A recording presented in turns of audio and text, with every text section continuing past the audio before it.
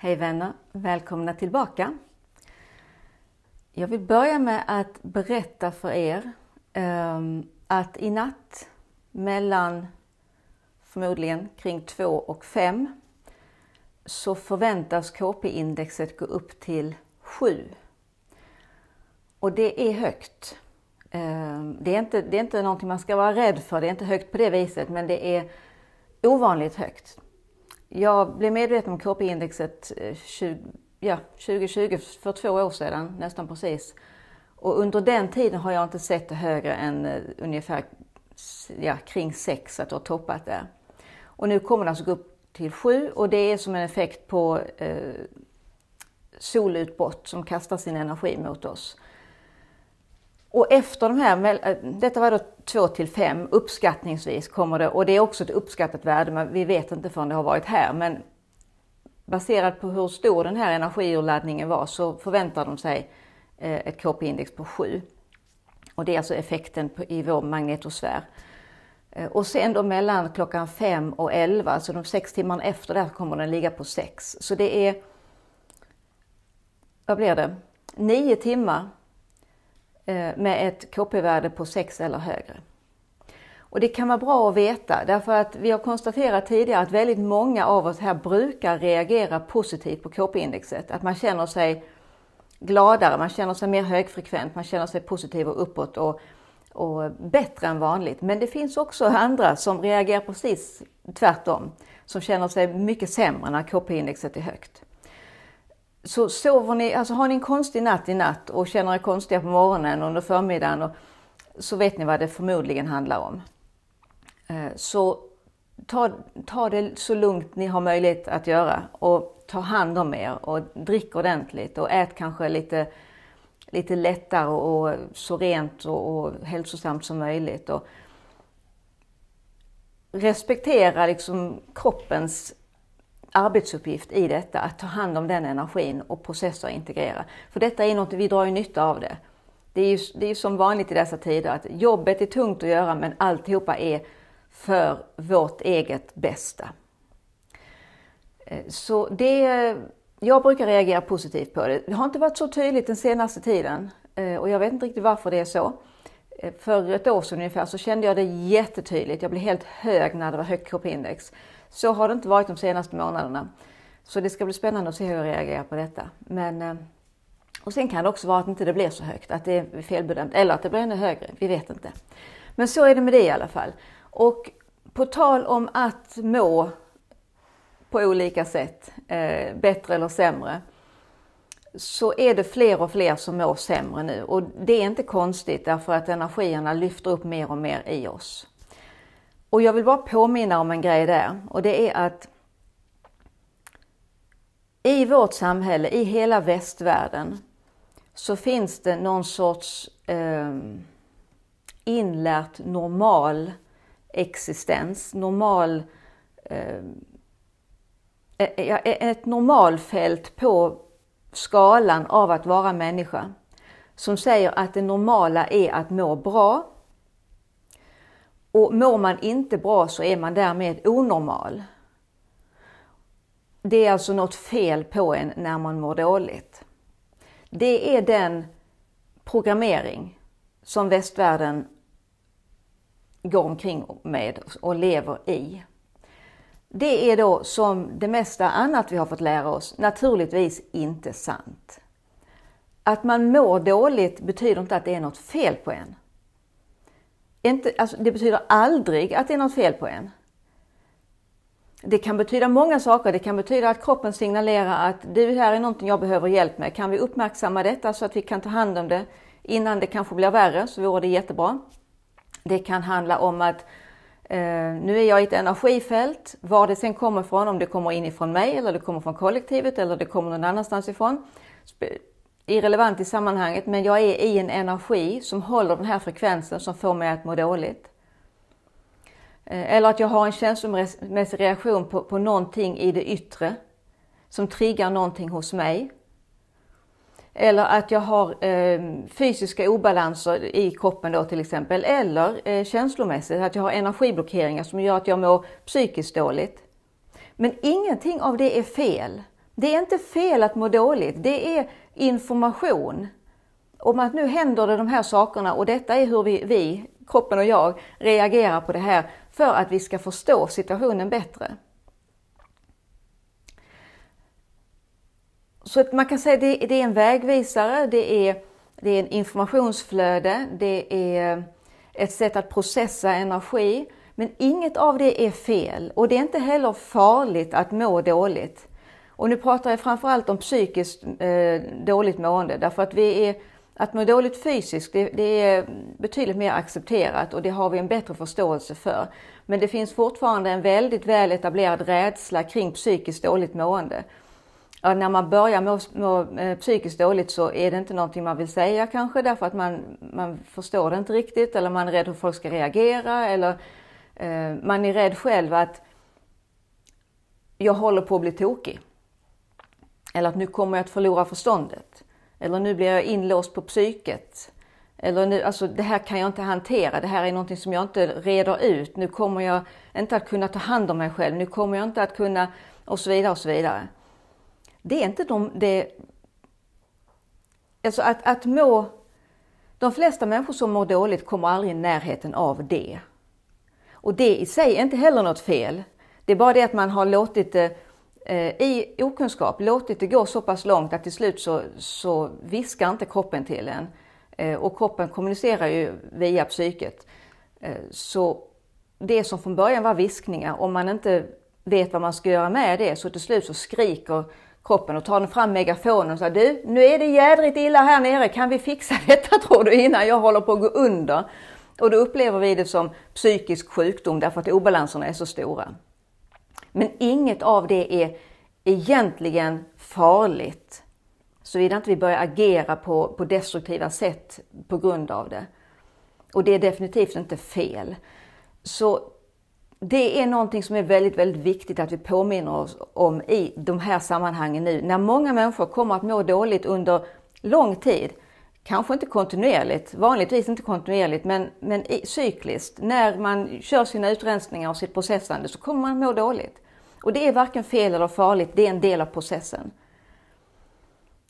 Så det här är egentligen lite grann en, en efterslänt till den video jag gjorde förra gången, eller förra videon var det, som jag inte fick med där men som är väldigt viktigt att, att vi har det medvetandet. Det är inte farligt och det är inte fel att må dåligt, det är en naturlig del av processen. Och allt det där vi har fått lära oss om att, man, att det är både fel och, och, fel och fult att må dåligt, eh, och då framförallt psykiskt, eller även fysiskt, att det är ett svaghetstecken. Något sånt. Det är, ingenting av det stämmer. Utan det är det 3D-förhållningssättet som vi nu håller på att kravla oss ur när vi tar oss ur matrisen. Och när vi lär oss att inse att all form av kommunikation från vår, vår varelse, oavsett om den, är, om den kommer via kroppen eh, som symptom eller via psyket som symptom, alltihopa är kommunikation som talar om för oss att här är någonting som skaver och här har vi en obalans och här har vi en förgiftning och, och det här har du inte processat och här har vi en energiblockering. Det är kommunikation. Men vi har hittills bara sett det som problem och fel och fult och dåligt. Och så har vi bara tryckt ner och tryckt ner och tryckt ner och skjutit undan. Vi har blivit som flytt, eh, som en flyttfirma med våra, våra eh, med kroppens kommunikation till oss. Vi har liksom inte tagit tag i det, vi har bara skjutit undan det. Så kom ihåg det, eh, väldigt viktigt. Och sen en grej till innan jag pratar om det jag faktiskt ska prata om jag kommer, att, jag, jag, kommer att försöka att komma ihåg, eh, det är en ambition jag har, jag ska göra mitt bästa, att under varje video framöver lägga in länkarna till dels det vänskapsinlägg som vi i communityn som vi gjorde för två år sedan. Eh, där är, jag tror det är över 800 kommentarer med människor som vill träffa likasinnade, antingen eh, via telefon eller via mail eller i verkliga livet eller på andra sätt.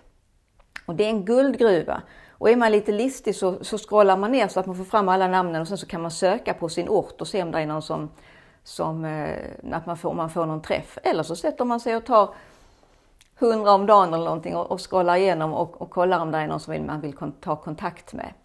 Behovet av att hitta likasinnade och ha mer kontakt än vad vi kan ha här i, kom i kommentarsfältet blir större och större. Så det kommer jag börja länka till under varje video. Och också det eh, inlägget från nu nyligen där alla ni som har någon form av verksamhet fick möjlighet att fortfarande ha möjlighet att presentera er och er verksamhet.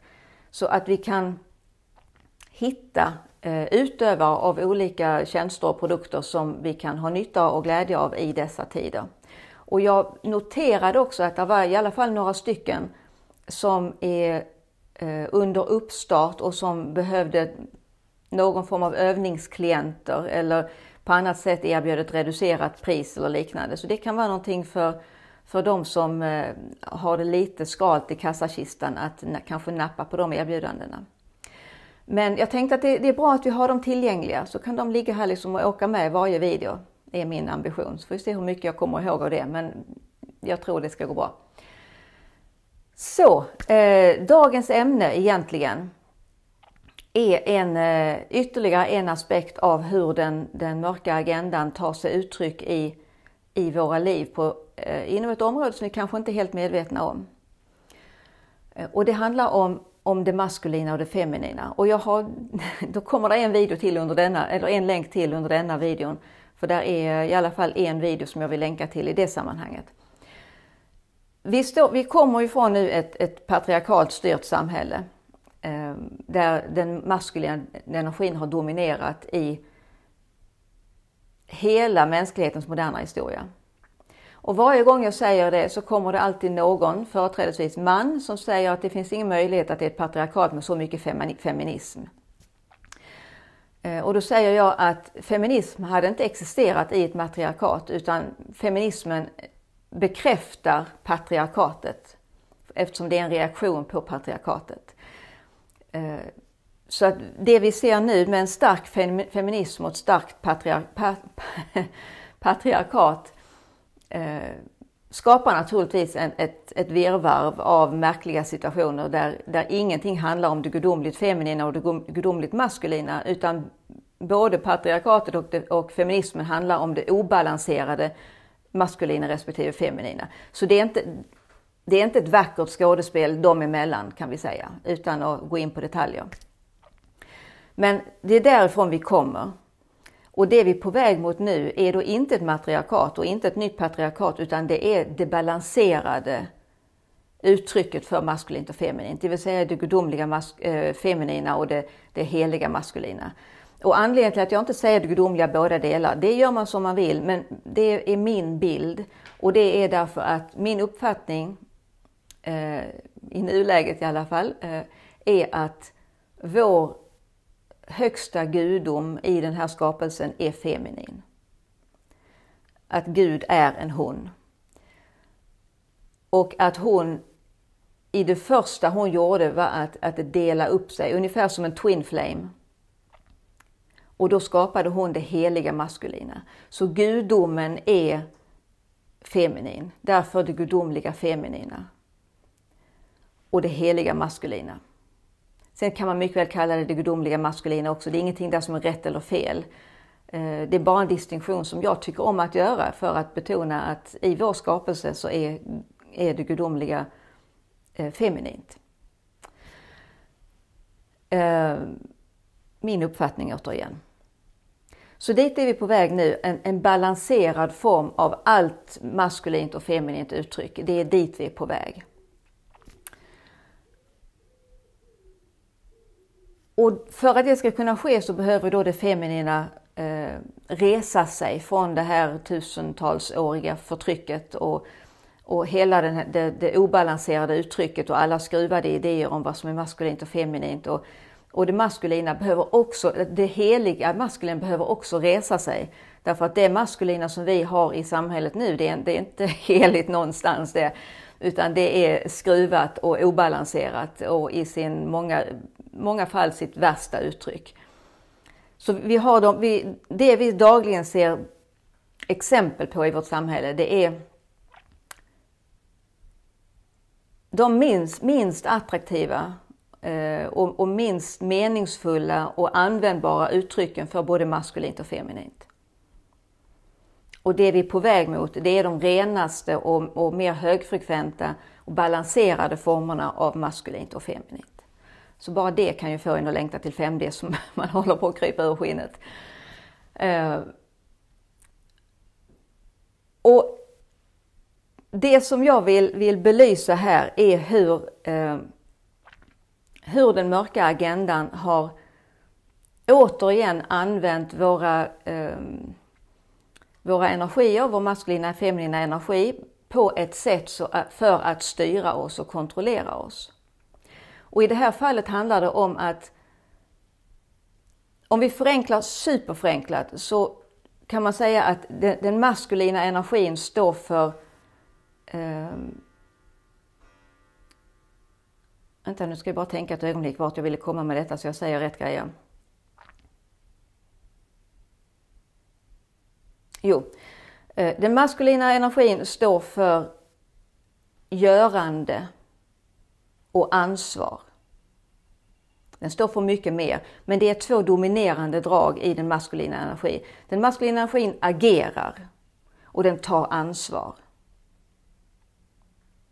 Den feminina energin har också, där är en hel lista och det har jag bland annat tagit upp eh, mer av i den videon jag tänker länka här nere, eller som jag har länkat. Ehm, den feminina energin motsvarande då håller energin av att vara och av lust. Lust, glädje, eh, ja, lust och glädje. Så vi har, den maskulina energin gör saker, den feminina energin är. Den maskulina energin tar ansvar, den feminina energin känner lust och glädje. Och vi har båda energierna i oss, så det är inte det att alla män bara tar ansvar och, och gör saker och alla kvinnor bara är och känner lust. vilket ju hade blivit roligt. Men i alla fall, utan vi har, vi har båda. En människa i balans har också balans mellan det maskulina och det feminina och kan använda den funktion som behövs i just det, den situationen. Funktionsstyrt ledarskap med andra ord. Eh, så vi har alla det. Eller det har vi inte för närvarande, men vi, kom, eller vi har det i obalans, men vi är på väg mot balansen. Och det betyder, eftersom vi då har, har befunnit oss i ett patriarkat och, och fortfarande gör, så är det görandet och ansvaret och analysen och alla de egenskaper som förknippas med, ja analys också, där har, på den feminina sidan så har vi intuition. Den är också viktig att ha med. Eh, patriarkatet har, har belönat och upphöjt alla de maskulina kvaliteterna. Och då i framkant analys, ansvar och görande. Agerande, handling. Samtidigt som man har lyft de egenskaperna så har man tryckt ner, eh, förklarat, eh, förklarat dem som mindre värda eller kanske till och med värdelösa. Någonting att se ner på, någonting att eh, nedvärdera. Att vara, att känna lust och glädje, att ha intuition. Och det lustiga i sammanhanget här, som av en händelse, så är det precis de tre grejerna som leder till personlig, andlig, spirituell utveckling, frekvenshöjning, kontakt med det högre jaget, kontakt med, med universella sanningen och så vidare. Om man hela tiden är fullt upptagen med att ta ansvar, med att analysera och med att göra saker, så har man inte den inre ron och inre kontakten och, och stillheten och uppmärksamheten som krävs för att skapa den högdimensionella kontakten. Utan för att hitta den så krävs det att man taggar ner och att man, man tittar inåt, att man känner att man bara är. Att man vågar följa lust och glädje, för det är där man hittar sin lust, glädje och kreativitet, det är där man hittar kontakten med högre dimensioner. Eh, med eh, sin intuition och med, med eh, kontakten med sitt högre jag. Och då intuitionen, att våga lita på den. Så genom att sänka de kvaliteterna och höja de här kvaliteterna så har man effektivt skurit av, eller i alla fall inte skurit av har man inte, men man har starkt reducerat kollektivets möjligheter att nå uppstigning.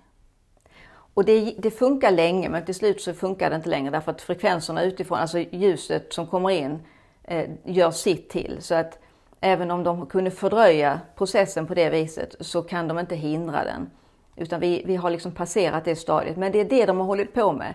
Eh, de har skolat oss in i att se ner på alla de kvaliteter och egenskaper och förmågor som sätter oss i kontakt med våra högre jag och med den universella sanningen. Och ett väldigt, väldigt aktuellt uttryck för det är i dessa tider när vi håller på med frekvenshöjningen, vår egen och kollektivet som allra mest intensivt och det samtidigt händer massa mer eller mindre vansinniga saker i världen med hot om det ena och det andra och begränsningar och lagar och, och saker som, som vill tryckas på oss. Eftersom vi är skolade in i den maskulina energin, i det förhållningssättet, så är vår första reaktion, vår första, vårt första svar på det som händer, är att vi vill göra någonting. Protestera i det här sammanhanget. Vi måste analysera situationen. Vad är det egentligen som händer? Hur kan vi motarbeta detta? Och att någon måste ju ta ansvar för det här som händer. De kan ju inte få hålla på hur de vill. Det är den maskulina reaktionen och den, är helt, helt befogad med tanke på allt det som händer. Helt befogad ur ett 3D-perspektiv och ett 4D-perspektiv. Samtidigt ur ett högre perspektiv så vet vi att allting som vi strider mot ger vi vår energi och därmed så stärker vi det.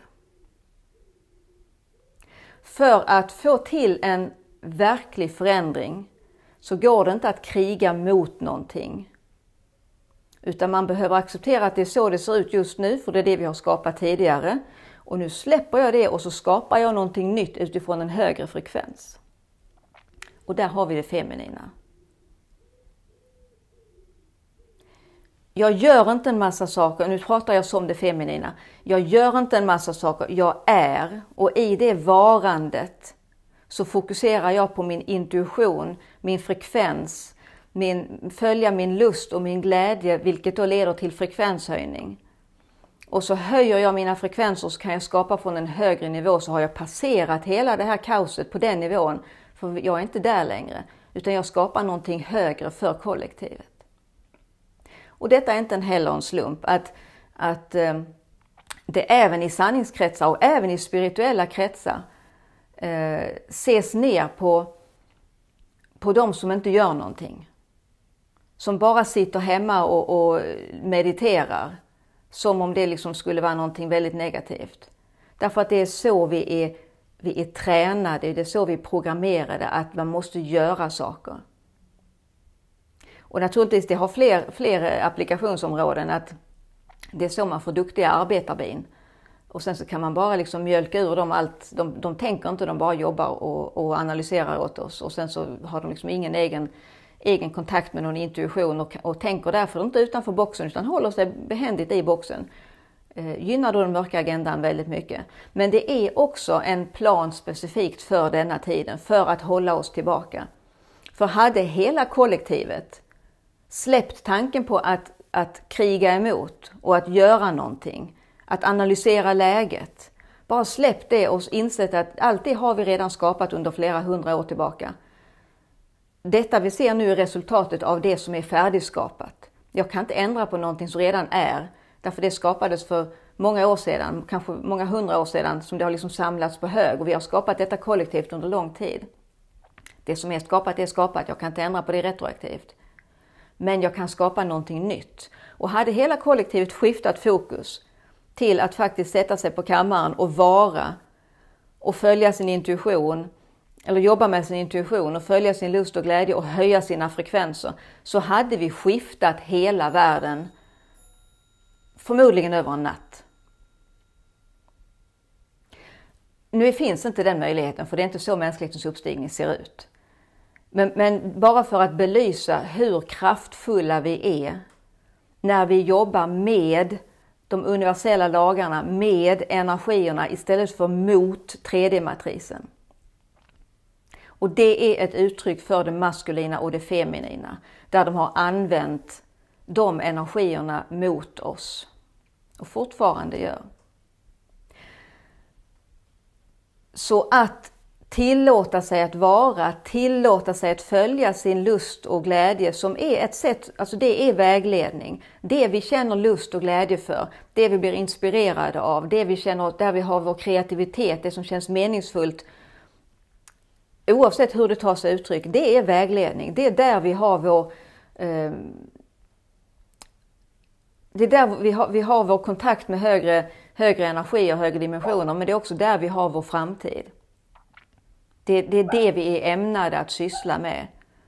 I någon form. Det behöver inte vara exakt det som man dras till i första steget, men det kan leda till någonting i andra eller tredje steget. Eller det kan utvecklas till någonting från det man börjar med. Men den, den vägledningen hittar man aldrig via analys. Inte ens via ansvar, även om det är kvaliteter som behövs, som är väldigt värdefulla. Men att ta ansvar, att göra en analys och att, att faktiskt agera. Otroligt värdefulla egenskaper som är väldigt starka även i det heligt maskulina och som kommer att behövas och vi kommer att ta med oss. Men då kommer vi göra det utifrån vår egen inre vägledning och inte ut, eh, i någon annans box att här får du lov att agera och analysera och ta ansvar. Men Gud nåde dig om du tänker utanför den boxen. Så det är inte det att förmågorna och, och, egenskaperna i sig är dåliga, utan de har bara använts på ett väldigt obalanserat och kapat sätt. På samma sätt om man, om man bara ägnar sig åt att vara och att känna eh, lust och, och, jobba med sin, med sin eh, intuition, då blir inte mycket gjort i världen. Så menar, det, det, skulle vi inte kunna hålla på med allihopa i, i dagarna igen, i alla fall inte på de här frekvensnivåerna. Högre upp är det i stort sett det vi håller på med skulle jag tro. Men här funkar inte det för vi har, liksom, vi har ett liv att sköta. Eh, så det är inte alls det att det ena är bra och det andra är dåliga egenskaper. Men, men de kan de behöver leva i, i samklang, behöver existera i samklang och de behöver framförallt inte vara kapade för att gynna någon annan. Utan de ska användas av oss själva utifrån vår egen inre drivkraft och vägledning för allas vårt bästa, för vårt eget bästa och för allas vårt bästa och för planetens bästa och djuren och naturens bästa och alltihopa. Och det är inte så det har sett ut för det har varit utifrån obalanserat.